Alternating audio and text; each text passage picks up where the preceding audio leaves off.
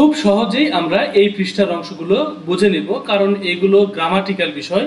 একটু মনোযোগ দিয়ে দেখতে হবে। পুরো ভিডিওটা না টেনে একবার দেখো।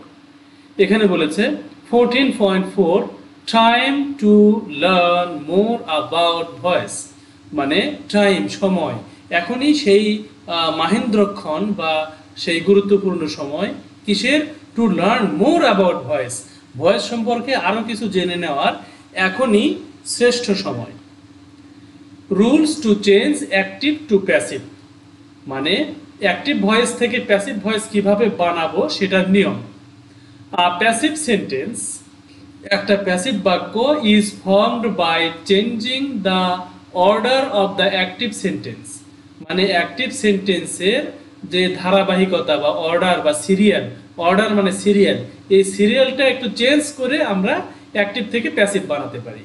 So the object of the active sentence becomes the subject of the passive sentence মানে অ্যাক্টিভ বাক্যের যে অবজেক্টটা থাকে, সেটাকে আমরা প্যাসিভে সাবজেক্ট বানিয়ে দেব।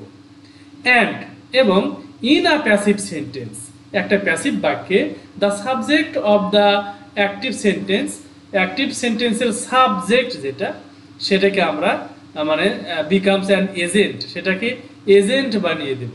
এজেন্ট কি সেটা আমরা একটু পরেই জানব। আমরা যদিও ভোটের এজেন্ট দেখি মনে করো যে এই কোনো একজন নির্বাচনে প্রার্থীর এজেন্ট থাকে মানে কারও পক্ষ হয়ে যিনি কাজ করেন তাকে এজেন্ট বলা হয়। আবার দেখবে যে মেডিকেল রিপ্রেজেন্টেটিভ, তারা কিন্তু আবার সেসব কোম্পানির এজেন্ট। যাই হোক, একজনের পক্ষে আরেকজন কাজ করলে তাকে এজেন্ট বলা হয়। Who or which receives the action. যাই হোক তাহলে হু মানে যে বা হুইচ মানে যে কাজটি রিসিভস দ্য অ্যাকশন এই কাজটাকে রিসিভ করে বা সম্পন্ন করে। Number two notice this sentences এই বাক্যগুলো খেয়াল করো। অ্যাক্টিভ ভয়েস মানে এখানে সক্রিয় কর মানে কর্তৃবাচ্য অ্যাক্টিভ ভয়েসের বাংলা কর্তৃবাচ্য, বাংলার সাথে আমাদের মিলানোর দরকার নাই, আমরা ইংরেজি ইংরেজির মতো করেই বুঝি।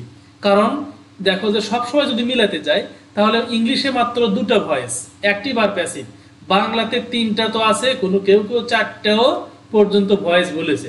সুতরাং ওইগুলো আমরা কম্পেয়ার করতে গেলে আমাদের এখনই দরকার নেই, আমরা বড় হলে এগুলো কম্পেয়ার করব। Shaoli wrote her memory Shaoli তার স্মৃতি লিখেছে। প্যাসিভ ভয়েস হবে হার মেমোরি এই যে হার মেমোরি এটা হলো অবজেক্ট এটাকে আমরা প্রথমে নিয়ে গেলাম সাবজেক্ট বানালাম। তারপরে ওয়াজ রিটেন অবশ্যই ভার্বের পাস্ট পার্টিসিপল লিখতে হবে। তারপরে শাওলি হয়ে গেল এজেন্ট বাই শাওলি। এই বাইয়ের পরে যেটা থাকে এটাকে এজেন্ট বলা হয়। এই জায়গায় মানে এটা কোনো কোম্পানির ব্যক্তির ক্ষেত্রে নয় বা ভোটের ক্ষেত্রে নয় গ্রামারের ক্ষেত্রে এজেন্ট হলো যে ওয়ার্ডের আগে বাই থাকে এই দুটা মিলে এজেন্ট বলা হয়। যেমন শাওলির এজেন্ট হলো বাই শাওলি। আচ্ছা Here, the verb wrought has now been changed to was written. মানে এই যে এখানে রট ছিল, হয়ে গেল ওয়াজ রিটেন সেটা বলেছে।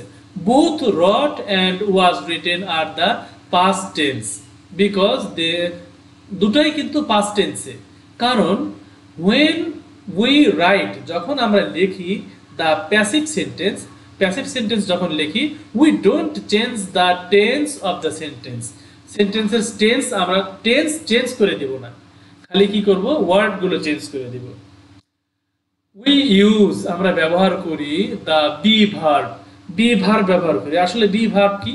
মনে রাখো বি ভার্ব হলো be am is are was were been এই যে সাতটা, এই সাতটাকে মিলে বি ভার্ব বলা হয়।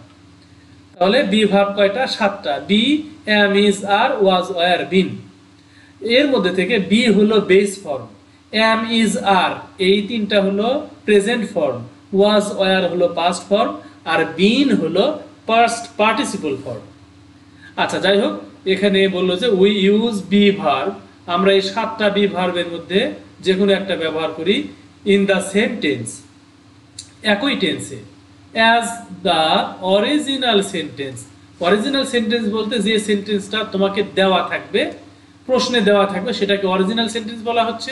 যদিও এখানে অরিজিনাল ভেজাল বলে কোনো কিছু নাই, যেটা দেওয়া থাকবে সেটাকে অরিজিনাল সেন্টেন্স বলা হচ্ছে, আর যেটা তুমি করবে সেটা কিন্তু তোমার নিউ সেন্টেন্স মানে অ্যাক্টিভ ভয়েস যেটা করতে দেওয়া থাকবে সেটা হলো অরিজিনাল তুমি যেটাকে চেঞ্জ করলে সেটা তোমার নিউ সেন্টেন্স হলো। আচ্ছা এখন দেখো অ্যান্ড অ্যাড এবং অ্যাড করো সংযুক্ত করো the past participle form of the main verb main verb যেটাই থাকুক না কেন, তার পাস্ট পার্টিসিপল বানাতে হবে প্যাসিভ ভয়েস করতে গেলে। এরপরে the rules of using be verb be verb ব্যবহারের নিয়ম। হেল্পিং ভার্ব বা সাহায্যকারী ভার্ব আসলে হেল্পিং ভার্ব দ্বারা অক্সিলিয়ারি ভার্ব বা সাহায্যকারী ভার্বকে বোঝায়। বি ভার্বও এক ধরনের সাহায্যকারী verb is passive voice in passive voice passive ভয়েসে সাহায্যকারী ভার্ব অবশ্যই একটা একটা না একটা অবশ্যই থাকবে। Are different for each tense প্রত্যেক টেন্স প্রত্যেক টেন্সের জন্য সাহায্যকারী ভার্ব এক এক রকম। যেমন দেখো ইজ হলো প্রেজেন্টের মানে হেল্পিং ভার্ব আর ওয়াজ হলো পাস্টের মানে সাহায্যকারী ভার্ব বা হেল্পিং ভার্ব এইরকম।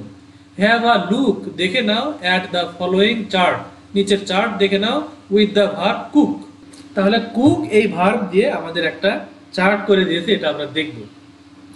এই চার্টটা একশো উনচল্লিশ পৃষ্ঠার নিচের দিকে এই চার্টটা আমরা বড় করে দেখব। একসাথে দেখলে ছোট ছোট লাগছে, আমরা একটু বড় করে দেখি। মানে এখানে আমরা প্রেজেন্ট টেন্স কয়েকগুলো একটাতে শিখব, তারপরে পাস্ট টেন্স আর ফিউচার টেন্স আমরা একটাতে একটা স্ক্রিনে শিখব। আচ্ছা এখানে টেন্স দেখো present indefinite present continuous present perfect তাহলে প্রেজেন্ট টেন্স চারটা, তার মধ্যে তিনটা নিয়েছে। শেষেরটার ব্যবহার প্যাসিভ ভয়েসে খুবই কম বা হয় না বললেই চলে। মাই মাদার কুকস এই যে দেখো কুকস এটা হয়ে গেল ইজ কুকড আচ্ছা the best chicken in the world এটা কিন্তু প্রথমে চলে গেল the best chicken in the world প্রথম মানে লাস্টের অংশটা প্রথমে গেল কুক হয়ে গেল ইজ কুকড তারপরে মাই মাদার এটার এজেন্ট হয়ে গেল বাই মাই মাদার তারপর এখানে দেখো ইজ কুকিং এটা হয়ে গেল ইজ বিং কুকড খেয়াল করে দেখো, এটাও পাস পার্টিসিপল এটাও পাস পার্টিসিপল এটাও পাস পার্টিসিপল একটা কথা অবশ্যই মনে রাখবে পাস্ট পার্টিসিপল ছাড়া কখনো প্যাসিভ ভয়েস হবে না। আরেকটা কথা হলো অক্সিলিয়ারি ভার্ব বা সাহায্যকারী ভার্ব ছাড়া কখনো প্যাসিভ ভয়েস হবে না। এর কোনোই ব্যতিক্রম নাই। আচ্ছা এরপরে দেখো হ্যাজ কুকড এইটা হয়ে গেল হ্যাজ বিন কুকড আর সবগুলো কিন্তু আগের মতোই। অর্থাৎ এই লাস্টেরটা ফার্স্টে এসেছে, আর ফার্স্টেরটা বাই মাদার এটা এজেন্ট হয়ে বাই মাই মাদার হয়ে গেছে। এইরকম করে হলো। এরপরে পাস্টের ক্ষেত্রে একই কুকড এখানে ওয়াজ কুকড আর সবই এক মাই মাদার শেষে চলে গেল বাই মাই মাদার আর এই লাস্ট লাস্টে যেগুলো ছিল এগুলো ফার্স্টে গেল, আর কোনো চেঞ্জ হয়নি। ওয়াজ কুকিং এটা হয়ে যাবে ওয়াজ বিং কুকড আর সব নিয়ম একই। হ্যাড কুকড এটা হয়ে গেল হ্যাড বিন কুকড শুধুমাত্র এর মাঝখানে বিন আসলো। আর এই দুটার মাঝখানে বিং আসলো, বিং। আর এখানে উইল কুক, এখানে হয়ে গেল উইল বি কুকড। মানে উইল আর কুকের মাঝে বি আসলো। আর অবশ্যই সবগুলো দেখো past participle cooked cooked cooked cooked. এই হলো আমাদের এই এই ছাড়া কিন্তু সবগুলো নিয়ম কিন্তু একই। এখানে মাই মাদার আছে, এখানে লাস্টে চলে এসে বাই মাই মাদার হলো। এগুলো সব একই নিয়ম। তাহলে আমরা এই অংশটা এখানে রাখছি। পরবর্তী ভিডিওটা পরবর্তী অংশটা আমরা পরবর্তী ভিডিওতে দেখব ইনশাল্লাহ আসসালামু আলাইকুম ওয়া রাহমাতুল্লাহ।